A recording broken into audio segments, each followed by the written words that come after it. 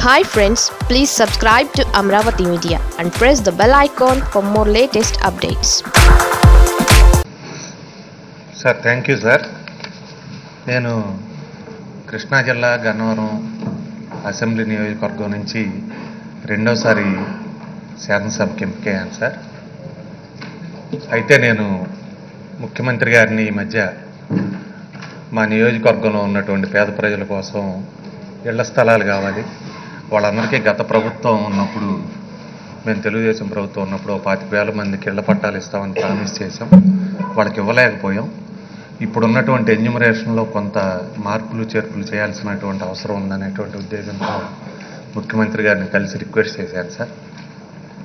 Request చేసినప్పుడు నా మీద అంటే నువ్వు ఎందుకు ముఖ్యమంత్రి గారిని కలిసావు?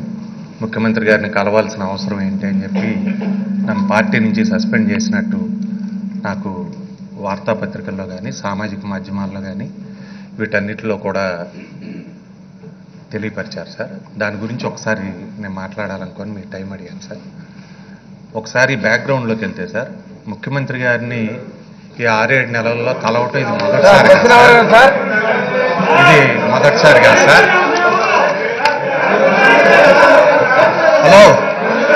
సభ్యుడు మాట్లాడకూడదేంటి చంద్రబాబు గారు.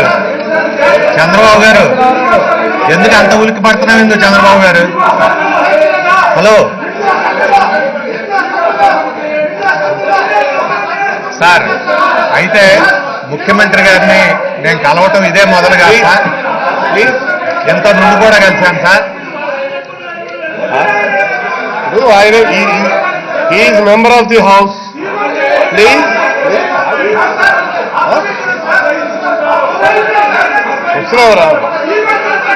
ఆయన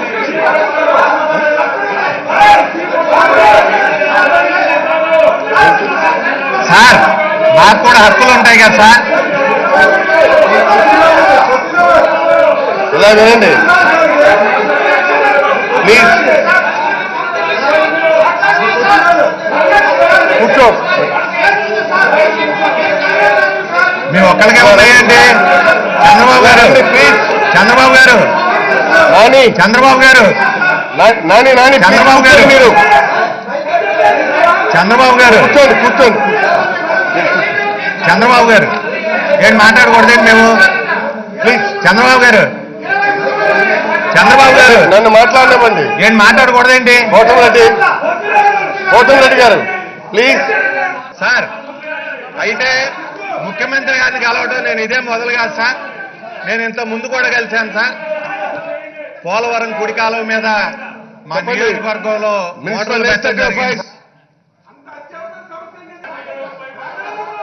చెప్పండి వంశీ. సార్ నేను ముఖ్యమంత్రి గారిని కలవటం ఇదే మొదలు కాదు సార్. ఎంతో ముందు కూడా నేను పోలవరం కుడికాలం మీద మోటార్లు పెట్టినప్పుడు ముఖ్యమంత్రి గారిని కలిశాను సార్. కలిసి ఆ పోలవరం కుడికాలం గురించి మా నియోజకవర్గంలో పన్నెండు వందల ఎకరాలు భూసేకరణ చేయటం వాళ్ళందరికీ కూడా భూసేకరణ చేసేప్పుడు నీళ్ళు ఇస్తామని ప్రామిస్ చేయడంతో ఆ? నీళ్ళు ఇవ్వటానికి అక్కడ ఇబ్బంది ఉంది. కాలువ ఎక్కడ ఉంటుంది? పొలాలన్నీ ఎగువలో ఉంటాయి కాబట్టి ఒక ఐదు ఆరు వందల మోటార్లు కొని నేను రైతులకు ఇవ్వటం జరిగింది. అయితే ఈ మోటార్లన్నిటికి కూడా కరెంట్ ఇవ్వటం కోసం నేను ప్రభుత్వం మారిన తర్వాత గత ప్రభుత్వం ఏ రకంగా చేసిందో ఆ రకంగా పోలవరం కుడికాలం మీద ఉన్న మోటార్లన్నిటికి కూడా కరెంట్ ఇవ్వాలని చెప్పి నేను అడగటం జరిగింది సార్. దానికి ముఖ్యమంత్రి గారు సానుకూలంగా స్పందించారు. అదేవిధంగా నేను ఇళ్ళ పట్టాల గురించి నివేశన స్థలాల గురించి పేదవాళ్ళ కోసం వెళ్ళాను సార్. దానికి ముఖ్యమంత్రి గారు సానుకూలంగా స్పందించారు. అయితే ఇవన్నీ చూసిన తర్వాత ఒక ఫేస్బుక్లో కానీ వాట్సాప్లో కానీ లేకపోతే సోషల్ మీడియాలో ఆయనకున్నటువంటి ప్రసార మాధ్యమాల్లో మమ్మల్ని బూతులు తిడుతూ అదేవిధంగా క్యారెక్టర్ అసాసినేషన్ చేస్తూ మమ్మల్ని అందరినీ కూడా ఇది చేయడం జరిగింది. అయినప్పటికీ కూడా నేను పోలవరం కుడికాలం మీద మోటార్ల కోసం వాటికి వాటికి వాటి కరెంటు కోసం నేను ముఖ్యమంత్రి గారిని కలవటం జరిగింది సార్. ఇక్కడ ఉన్నటువంటి ప్రాక్టికల్ ఇబ్బంది ఏంటంటే సార్?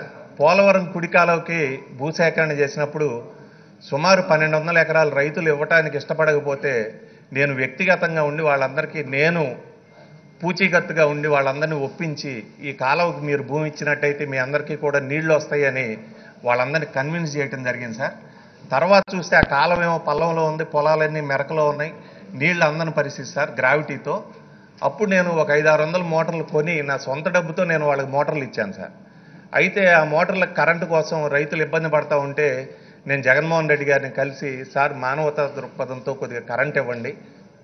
ఇంతకుముందు ముందు కూడా ప్రభుత్వం ఇచ్చింది సార్. మీరు మానవతా దృక్పథంతో ఇచ్చినట్టయితే ఈ రైతులందరికీ కూడా బాగుంటుందని ముఖ్యమంత్రి గారిని రిక్వెస్ట్ చేశాను సార్. ముఖ్యమంత్రి గారిని రిక్వెస్ట్ చేస్తే ముఖ్యమంత్రి గారు చట్టవిరుద్ధమైనా కూడా మానవతా దృక్పథంతో ఆ రైతులందరికీ కూడా కరెంట్ ఇద్దాం. వాళ్ళందరూ కూడా పంటలు పండించుకుంటారని చెప్పి యాక్సెప్ట్ చేయడం జరిగింది సార్.